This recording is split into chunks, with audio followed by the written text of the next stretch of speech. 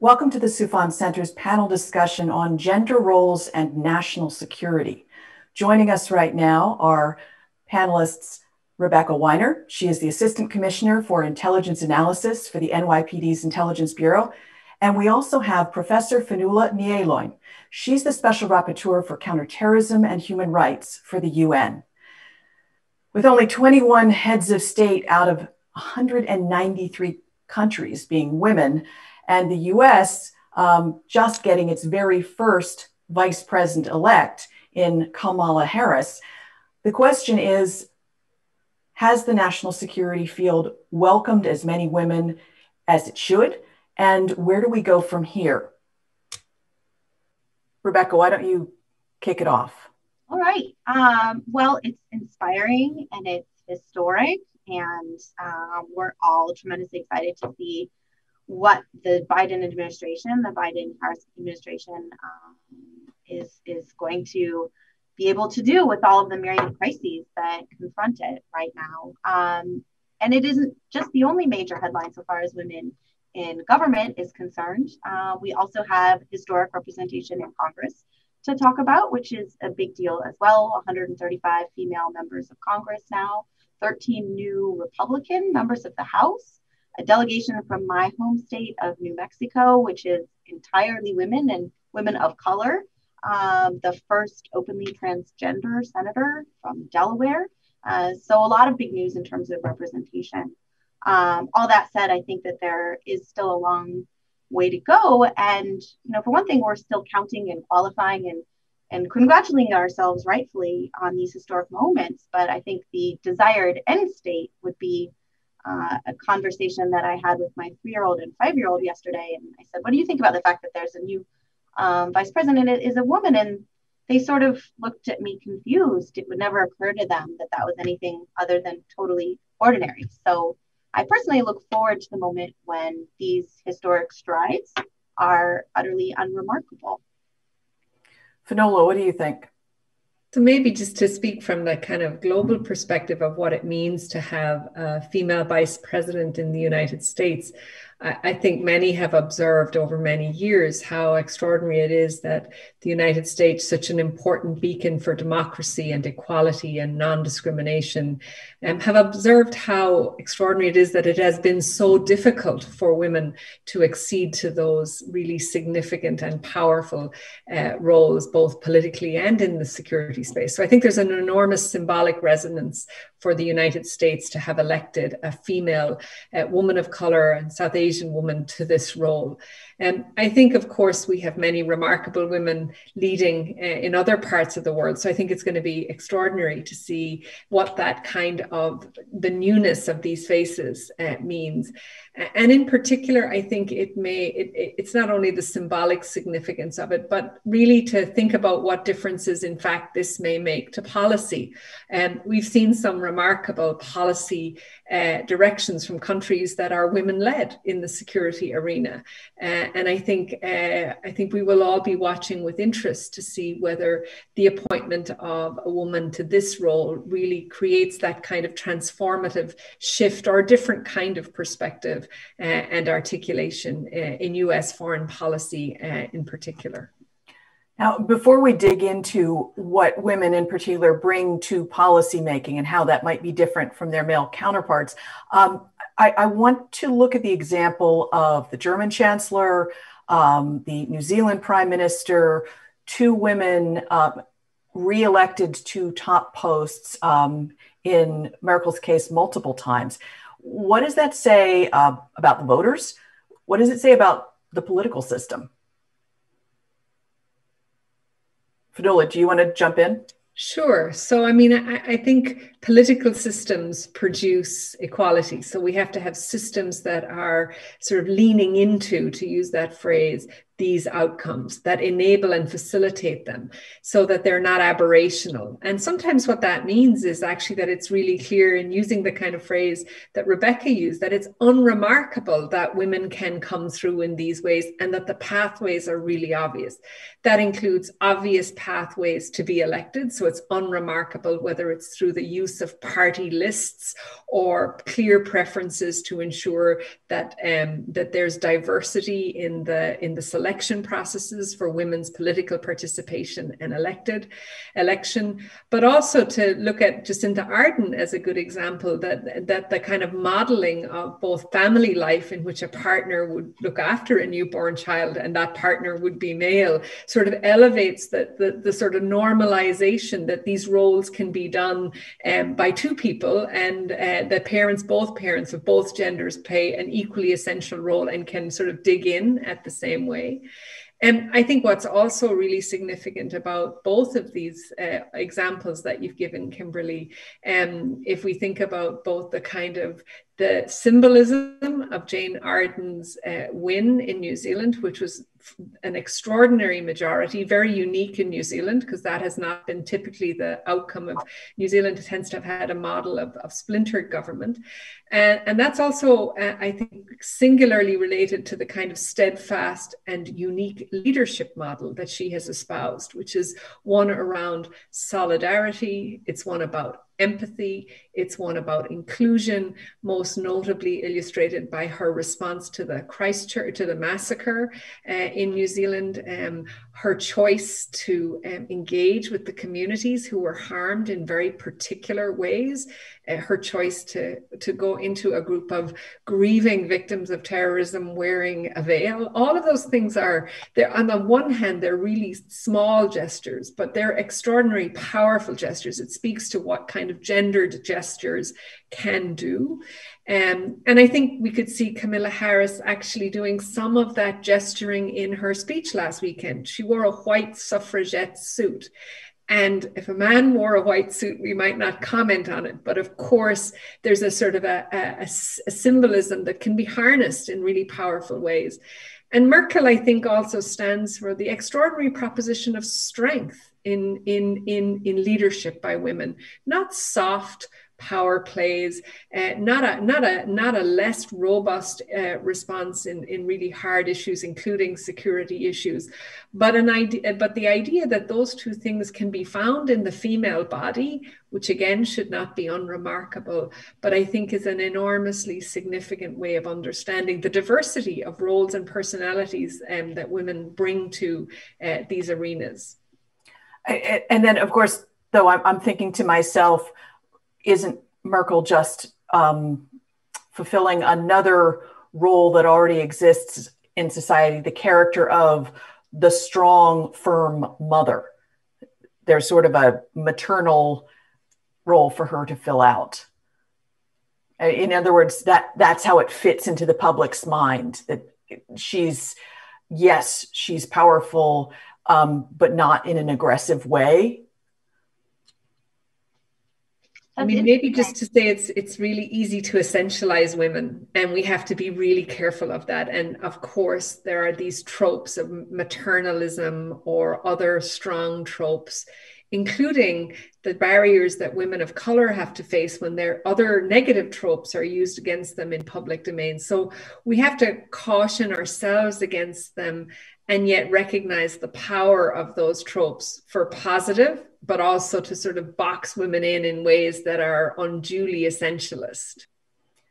I agree. And I think there are such distinct and powerful examples of extraordinary leadership and leadership in crisis. And, you know, I would point to not just Christchurch, but also New Zealand's handling of the COVID pandemic and Germany too, confronting all sorts of different crises, crises over the last several years. Uh, and so I agree that we ought to be careful not to map on to these disparate leaders and their leadership qualities um, an overly gendered sense of what roles they're embodying, uh, but just to recognize the fact that they are very adroitly leading their countries through these very tricky periods of, of history in very different ways. And I completely agree. What I'm trying to say is that in the public's mind, they're like, okay, I have these categories for women. One yeah. of them is strong mother. Therefore, I'm okay with Angela Merkel being firm um, and authoritative because that fits into this idea I have of women. Yeah. And where yeah. I was going to go with that is, but what if you have someone like a Senator Kamala Harris, who was uh, an aggressive prosecutor. And so in the Senate, she did amazing cross examinations and she got the ballbuster label because that doesn't seem to fit into one of our categories. Mm-hmm. It's true. And, and yet she's the VP. So my hope is that as distinct heterogeneous personalities are occupying these roles, that kind of lexicon we have of what women leaders should be like is going to expand uh, to just include the way it does for men, different personality traits in general, and how those leadership characteristics work and don't work in, in different situations. So I think that that's why it's important to have more of women in these positions of power. So our own understanding of what it means to be a woman in power is a lot more nuanced uh, as a result. And, and I'm excited that that's sort of the direction we're heading, albeit slowly. So, why do you think the United States has taken so long to catch up to other countries at putting a woman in one of those top slots? I mean, maybe to say, I think we have um, a deeply gendered society. It's not the only one that's deeply gendered. We've seen um, the, some of the political divisions in this country clearly map on to very distinct understandings, including of the family, of the female body, of the appropriateness of female uh, participation in public life. Um, as Rebecca pointed out, the long term uh, suppression of women's participation in ways enabled or disabled by very concrete realities.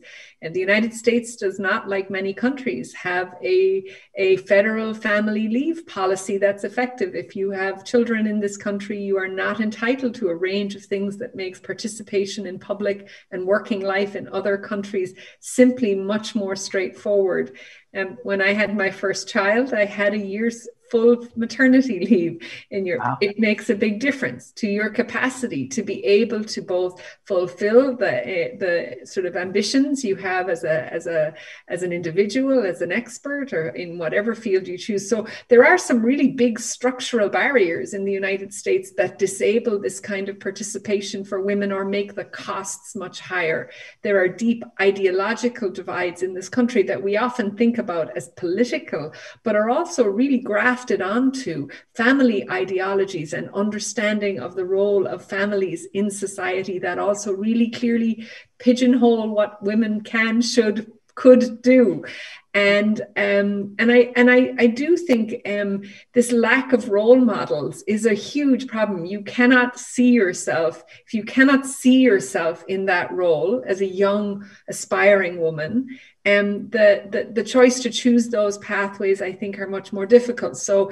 that's why these individuals become have an outsized importance in a way that I think we would all wish that were not true, but is the case due to all that complexity of, of other factors. Rebecca, did you have any women role models in US national security that led you to choose the field that you entered? I've had many women whose careers I've looked up to. Um, when I started this job in, in 2006, it was a fledgling unit at the time. Um, I was the second woman to join. And when I was promoted into the executive ranks within the department in 2012, there was one other female executive within the intelligence bureau. So we've seen out of how many people? Uh, not a terribly large number of people, but nonetheless, it was relatively small. And appointed our first female Black chief of patrol two weeks ago, which is an incredibly important position within the police department. Uh, we have female chiefs of our transit bureau, transportation, a female chief of counterterrorism, so the executive ranks of, of women in the department have, have really grown, even in the last 14 years that I've been in the NYPD.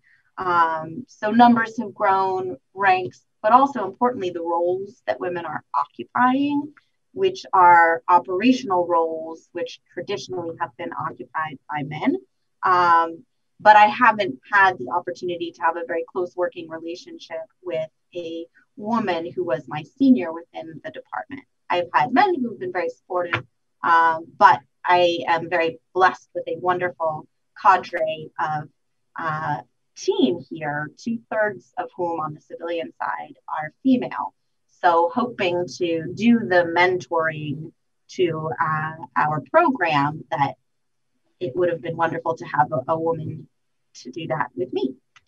So it sounds like uh, you're seeing diversification, you're seeing progress in bringing more women into both operational and senior roles that they've not traditionally held. Mm-hmm. And yet, you must still face a lot of the structural issues that Fionnuala um, laid out. You know, who, who is the principal child carer and what does that do to their career? So, um, how are you, as a manager, as someone in the executive ranks, how do you attract a wider base of people and then make sure that their career stays on track despite, or, or do they have to choose between children versus going up the ladder? Hopefully not, and, and that's that's the right question. So in terms of recruitment, that's where we've had you know great fortune, and, and that hasn't been a particular challenge is recruiting um, talented people from uh, you know across walks of life, including many women. Um, the retention issue is where we encounter challenges. Um, and that was my experience as well. So I have had a wonderful career here, again, terrifically supportive um, people that I've worked for and people who've worked for me. Uh, but there are these structural impediments that are seemingly mundane. They do have a, an outsized impact things that are somewhat basic. Paid parental leave. We didn't have as a city for employees of New York City paid parental leave when I had my first child, and now we do. We didn't have mother's rooms in our headquarters when I had my first child and came back from maternity leave. So I remember, you know, sneaking up into literally a closet for pumping in between meetings. Uh, now that has changed. So I think that there is growing awareness that in order to retain women, particularly women of um, young children, you need to have these structural accommodations. And that's been, think, highlighted by the pandemic and the experience of um, our law enforcement agency, other agencies across the intel community, and across law enforcement. Uh, and I'm a little worried that some of the gains that we've made over the last several years will be arrested or even um, rolled back by the pandemic. And many jobs encounter the issue of who of the couple is going to have to step out of work uh, if there is no childcare or if school closes. And in law enforcement, national security, you often don't have the op- option to work from home. So some of the accommodations that have been made among other professions uh, aren't available in this field. And, and I do worry a bit that that will uh, fall upon women disproportionately, both childcare as well as elder care, if you have to go into an office every day. Because uh, you have to be able to access classified information because only like cabinet members in the US have um, secured uh, spaces in their homes where they can read those kind of materials. Exactly. So if you have to access classified information in the national security space or in the law enforcement domain, you know, if you have to be out on the street being mobilized, mm-hmm. uh, you don't have the option to work from home. If you are taking care of elder parents or young children um, in this current climate, that's creating added risk. And we have seen some attrition due to those factors. Uh, I do remain concerned that the progress that we've been making um, may not be sustainable in the short term as we've adjusted to the pandemic working requirements. And has it been more women staying home than men? It, it has, you know, and there's been a lot written about why that is broadly. Uh, and in this domain, I think the same factors apply. It may be that the women in the relationship and, and you know, um, a, a heterosexual relationship may have taken on more childcare responsibilities ordinarily they may be a lower wage earner, so it may just make more financial sense for a couple to have the woman stay home. Uh, and hopefully those are going to be anecdotal examples and they won't be sort of a sign of, of something larger and systemic. But I think it's something that, as uh, even in this field, we have to think very carefully about how we can accommodate. And, and we have tried here that when possible, working from home was never a solution that the city really endorsed, and we've made adjustments. Uh, so I think that it will force professions that have a very traditional sense of how you access information and how you do your job to be thinking a little bit outside the box to accommodate um, the demands of the moment, which will then feed into, I think, some flexibility in terms of allowing women to stay going forward. So that brings up the, the question for Fionnuala Has the pandemic had a similar impact on women worldwide? Have you been tracking that yet? I mean, I can only speak to maybe those of us working at sort of the level of, sort of these sort of diplomatic and, and policy spaces in the UN around security. And I, I, would also just concur with Rebecca. Traditionally, these have been highly masculine spaces. So, for example, the role I hold as UN Special Rapporteur, and both of my predecessors were, were male men, um, very prominent and, and really smart men. Um, but in general, these sort of hard security roles have often been used viewed as the domain uh, of male actors. There's a couple of reasons for that. Similarly, there's an enormous, so for my mandate, for example, a lot of travel to conflict zones, a lot of my country visits would involve um, visiting places of detention. So I've spent the last couple of years, um, I would say, interviewing a lot of jihadis, people who've been convicted of serious terrorism offenses, for a whole variety of reasons. Those kinds of interventions and spaces may have been viewed as only spaces where sort of males could be because they had, uh, you know, the gender assumptions, stereotyped assumptions about uh, women's capacities to function in those spaces, or the the if you want patriarchal assumptions about protecting women from things that they that they, they there's a fear that they shouldn't be in those spaces. I think have historically worked against, but also what we might call hardship type postings, where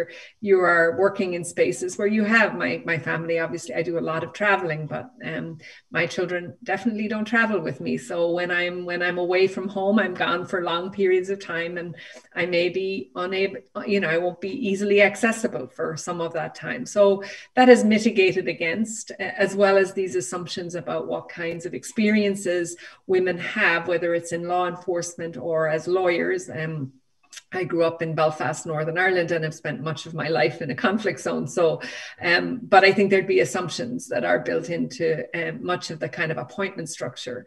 Uh, in general, um, the UN is currently, there's very little travel. Um, we are grounded except for, uh, you know, situations of humanitarian emergency or, but the day to day work of my office and others is, is really now online. Um, and I think that's that's really challenging uh, on the uh, and I think on the non-gendered level of really doing the kind of work we need to be doing in country, engaging with governments, engaging with civil society actors.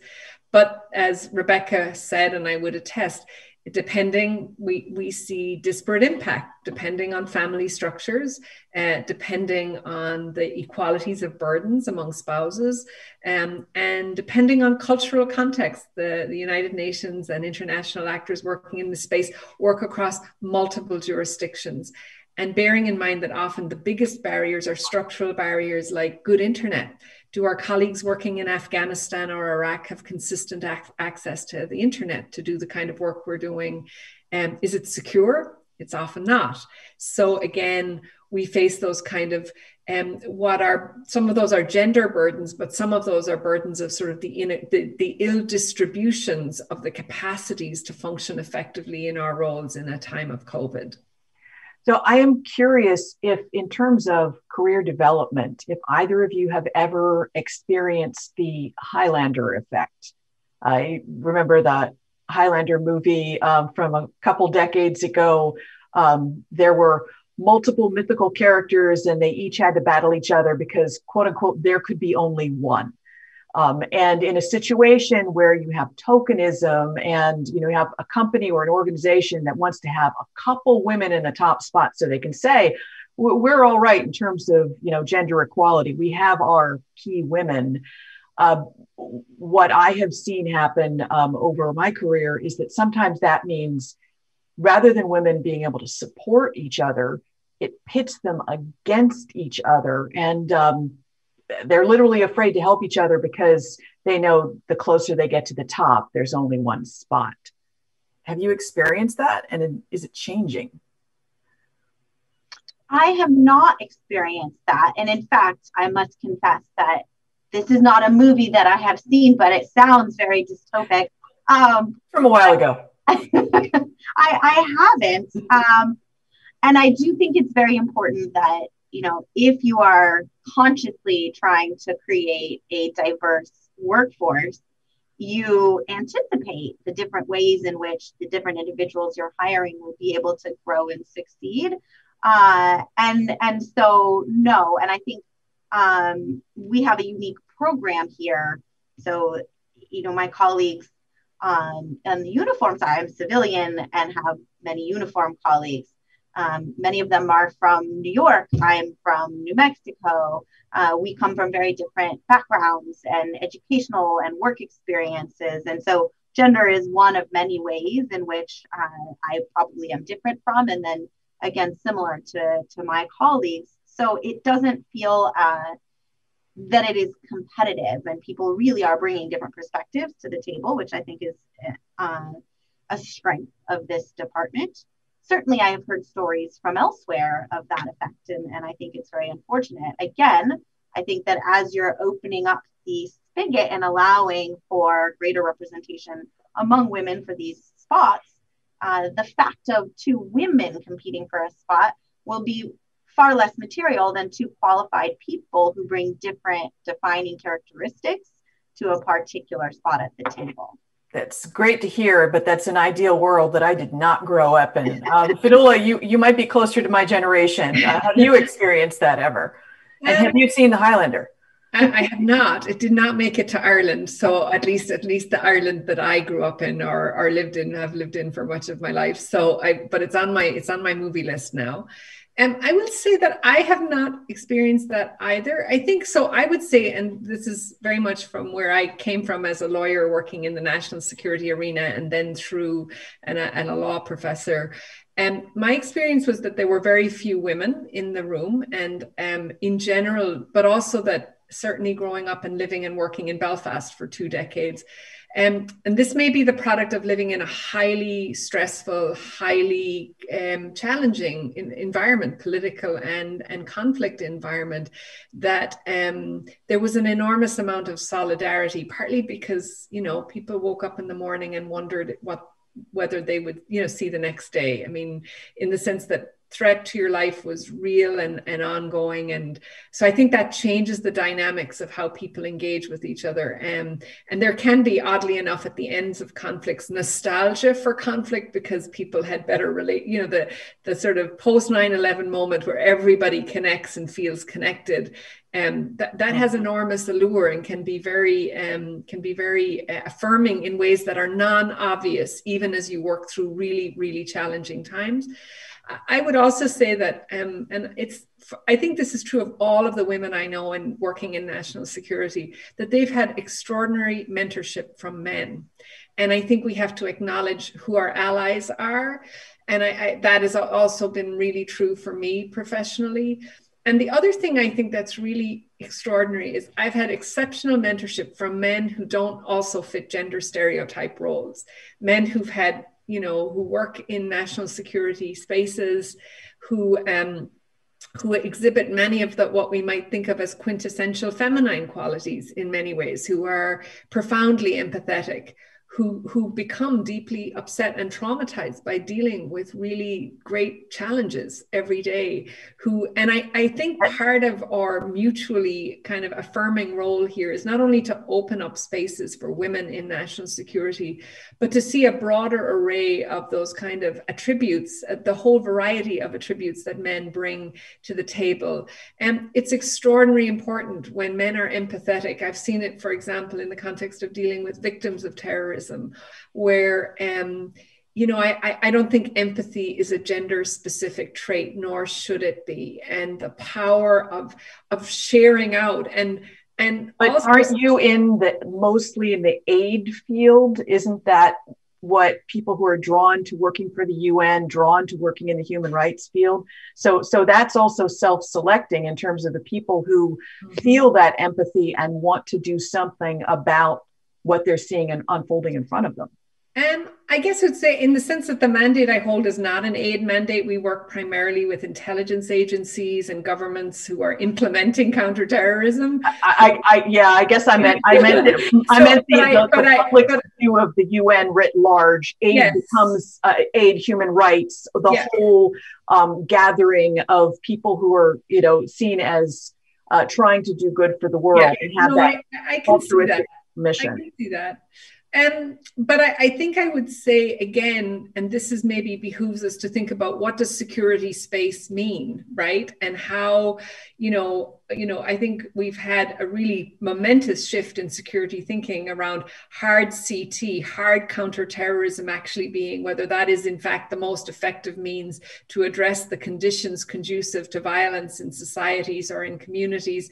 I think we've learned those lessons that that hard CT doesn't actually work always the way we intend it to and has rules of unintended consequences. So, and that um, is a perfect pivot to in the five minutes we've got left to go back to that question you had, I'd like to start with Rebecca and then go to Fionnuala of how is policymaking by women, uh, especially women leaders, different than what men bring to the table? Well, I'm very interested in Fionnuala's response to this question because, you know, I haven't um, spent as much time looking deeply at the ways in which different leaders are, are making policy.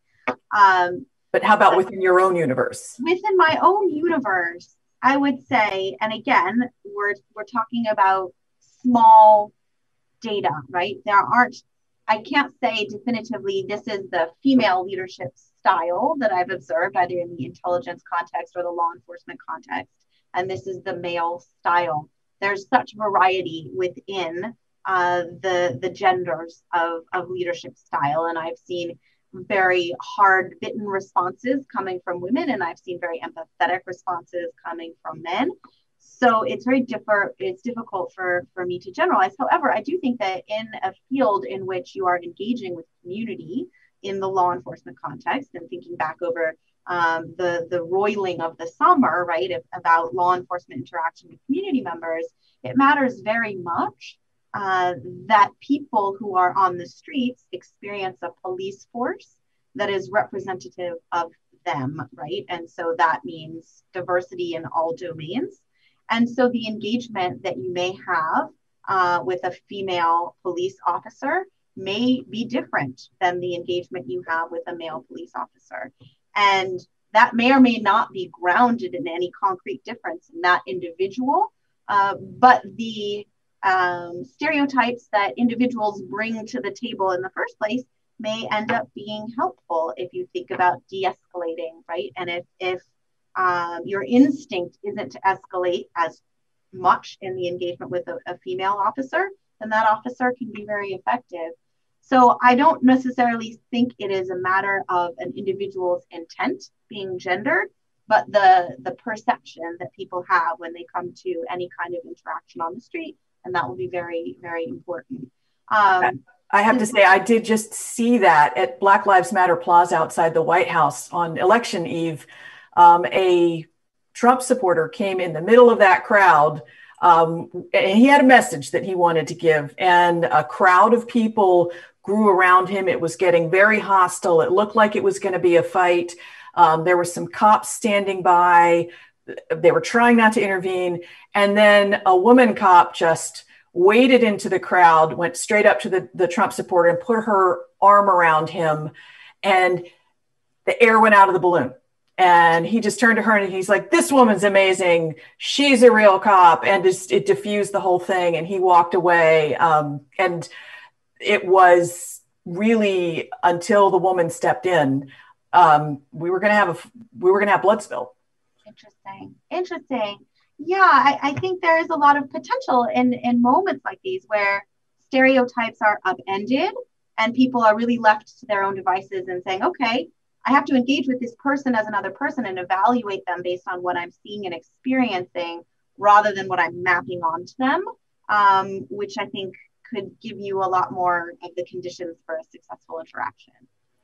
And, uh, you know, this being Zoom, I misread the clock a little bit. I think we still have about 10 minutes left. So, Fionnuala, over to you. What, what are some of the things that you see as differences in how women and men make policy, given the fact that you just outlined very eloquently how um, some men are as empathetic, if not more, than some women? Yeah, no, and I, I think there's two kind of, I want to say, contradictory things going on in this space. One piece of it is actually that the gender essentialisms are sometimes true, namely that there are a set of life skills and experiences of femaleness, female body, female experience that are brought into the national security decision making or operational space that can be transformative to how that space is conceived. And I have sat in rooms where I've seen that in action, where it, it's simply a different kinds of, of, of life experiences um, and having a diversity of people in the room, including a diversity of bodies in the room, makes a difference to the way the problem is conceptualized, the way the conversation happens, I think, and the kind of modalities of how problems are articulated and also what's seen as the solution. So i think that's that can happen. So then i, I do think sometimes and i see this in my own work in my own role is that leaning into that gender essentialism sometimes helps you. And i, I certainly know there are times when i have done that in rooms where um, being tougher is than than expected um, can be unsettling for the other side. Um, and you know but i think it works the other way that sometimes the, it, the, the the danger of that is is that we make presumptions about about femaleness or maleness that don't hold true. So you're trying to sort of ride the fact that both of these things could be simultaneously true at the same time. So if i could ask and reveal my ignorance i don't know what you mean by gender essentialism. I've never heard the term so to me, maybe I, this is my my my feminist theory piece of my the idea that there are essentially feminist or women characteristics that so something essential means only women can be carers, right? And men are essentially tough um, that's a gender essentialism. So it's really taking character traits and kind of hardwiring them into either male or female personages and assuming them to be true at all times and always. So that's what I mean by essentialisms that sometimes if we lean into those things, they help us. And sometimes when you're the only woman in the room, you do lean into some gender essentialisms to get what you want or need. And sometimes you don't have to. And I think we all, all of us women who work in these spaces do it. I think probably every woman who's in a position of power does that and is conscious of it, knows that she's doing it. And um, I think that's also underestimated, right? That that we that it's that that we don't have a full maybe we even underestimate how we do it when we're doing it so that brings up uh, the question in the time we have uh, left, just a quick how do you feel when you're the type of woman who might embrace the essential um, uh, identity that most people are familiar with of the, the tough love mothering versus the one who embraces um, the flirtatious, um, more traditional vamp style of getting their way at work? I hope those aren't the only two options. uh, good point. Good point. But you know, you know what I mean. I, have seen so, some women who very studiously uh, like go to work and they're like, "I'm not a woman at work. I am just a professional doing the job." And other women who really lean into um, some of these more traditional gender roles as their way of managing the world around them, and it, it, it can create problems and confusion sometimes um, when you're trying to blaze a path of just being a professional doing a job. It's so interesting. And I wonder, and this is hugely um, generalizing, but there's, I think now an emphasis that didn't exist or I wasn't as aware of it 15 years ago, an emphasis on authenticity um, quite apart from gender, quite apart from a- any other aspect of identity. But just in terms of you bringing to the table who you are as a person and your preferred style of engagement as one of the more credible ways to lead from where you are in an organization. And, and so I wonder to what degree gender is just an aspect of your authentic humanness and that you bring with you your power as a leader from really engaging naturally with people. And so the I'm going to just be a mask and a professional divorced from who I am as a human may seem like the better choice if you are a woman among all men in an environment, uh, but actually ends up being a little bit alienating both for you because you're not having that degree of kind of credible human engagement as well as the people you're interacting with. And so the kind of reversion to uh, I am going to be who I am, and that's how I'm going to lead from wherever I am in the organization feels like a stronger and more natural position. Um, it is fantastic to hear that uh, we've evolved to that point. I, I am betraying I um, like scars from my careers. Yeah. I mean, and, I would just add that I think that, and maybe to use another feminist word, intersectional, that we're like made up of all of these things. And some of some some of that is a body, some of that is where we come from. Some of that is the language we speak the religion we practice the the life so partly that i think that relates to rebecca's comment about authenticity. But the other thing i think that really matters in the national security space for women or at least women the, my experience is that being a professional matters. I, I, when i have to lean into anything else what i lean into is i'm a really good lawyer. I'm a very competent lawyer and so I think that what we, beyond anything else, we work in a highly challenging field where the where the stakes are really high in really fundamental ways for people's lives for people's uh, rights for people's experiences for the way in which governments governance works and so i think that what we bring most of all to the table is our like our skill set how good we are at what we do and i think that's what wins that's what i hope wins and that's what um I think continues to, to not just make us successful as individuals, but really helps us transform the things we are in the business of transforming and the roles that we are in. I completely agree with that. Yes competence, capability beyond everything else, the most important. I think that is a fantastic place to leave it. Um, Rebecca, Fionnuala, thank you both for a fascinating discussion, a very authentic discussion. And thanks to the Soufan Center for sponsoring this. Thank you. Thank you. Five, four, three.